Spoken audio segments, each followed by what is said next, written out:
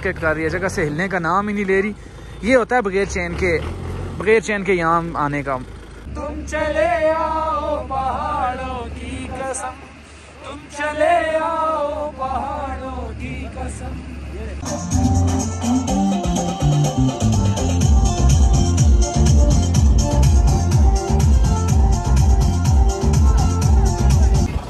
वालेकुम जी, बर्फबारी हुई है, लेकिन इस दफ़ा बर्फबारी कुटन में सही नहीं हुई तो मैं जागना जाना पड़ रहा है और बॉयज़ हमारे साथ हैं, कराची के। यस यस यस यस चलो जी चलो जी, बैठे जी। रेहान भाई, वो तो पहले से हैं तो।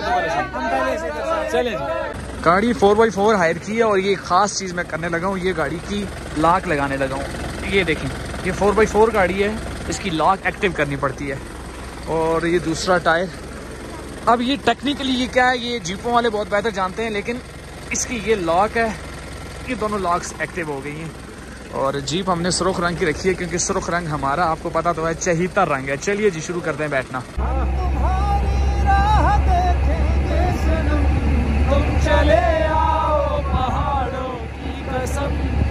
चले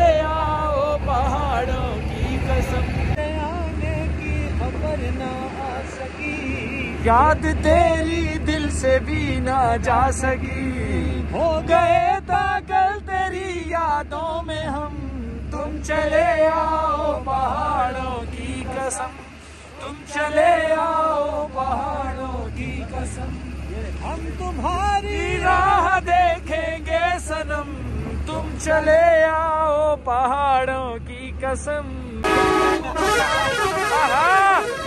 वाह वाह वाह। है यार। सगी हो गए पागल तेरी यादों में हम। तुम चले आओ पहाड़ों की कसम। चले आओ पहाड़ों हम तुम्हारी राह देखेंगे सनम। तुम चले आओ पहाड़ों की कसम। तुम चले आओ पहाड़ों की कसम। ये हमारे रिहान भाई हैं जो कि आज इस गाड़ी के क्लीनर हैं। क्योंकि ये टायर पे बैठे हुए हैं और टायर पे हमेशा क्लीनर बैठता है। पचास रूपए किराया गोरियाल का। गोरियाल का पचास हाँ, रूपए। और शाल तक अभी हम जाएँगे नहीं वरना वहाँ का तो ज़्यादा बनता गाड़ी को चैन लगेगी। चलें ठीक है ठीक है। ओके? जी ओके जी ओके देना है सबने। ठीक है जी सब किराया देंगे। फस गई जान शिकंजी अंदर जी में बेलने गन्ना।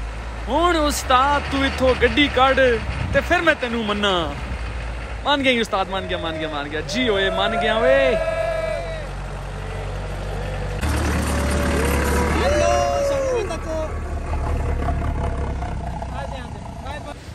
क्या यार माशाल्लाह माशाल्लाह ये लोग नेचुरल ज़िंदगी जीते हैं ये देखें ये घर के लिए सौदा सल्फ लेके जा रहे हैं आहा क्या बात है और और और और, और बच्चों क्या हाल है? अस्सलाम वालेकुम। क्या हाल है आपका? खैरियत से? दोनों ठीक हो? इधर के रहने वाले हो? जी। यार मुझे क्या नाम है? आते आतिफ यहाँ के लोगों के रंग इतने गोरे चिट्टे और सुरख सुरख क्यों होते हैं यार?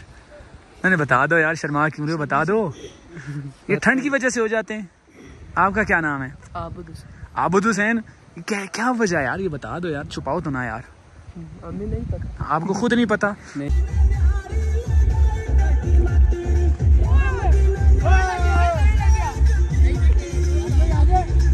जागरा सतह समंदर से तकरीबन 7000 फीट बुलंद है।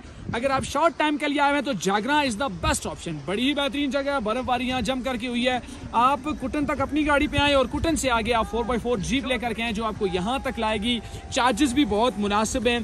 पाँच से छः हज़ार रुपये यहाँ जीप चार्जेस लेगी आपसे और आपको यहाँ तक लेकर के आएगी। बहुत ही खूबसूरत जगह है। टेम्परेचर की बात करूँ तो अभी शाम के चार बज रहे हैं और टेम्परेचर ऑलमोस्ट यहाँ पे माइनस फोर चल रहा है। माइनस चार का टेम्परेचर है और ये जीप हम लेकर के आए हैं। इसी तरह की जीप्स आप कुटन से हायर करें यहाँ तक लेकर के आए।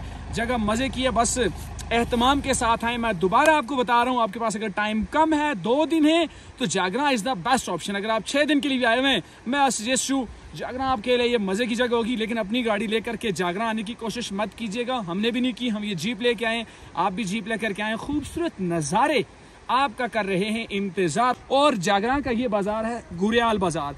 गुरियाल बाज़ार में जुम्मे चाचे का एक होटल है। अगर आपने वहाँ आकर के दूध पत्ती नहीं पी तो भाई आपने पिया ही क्या है, वहाँ की दूध पत्ती भी पीजिए।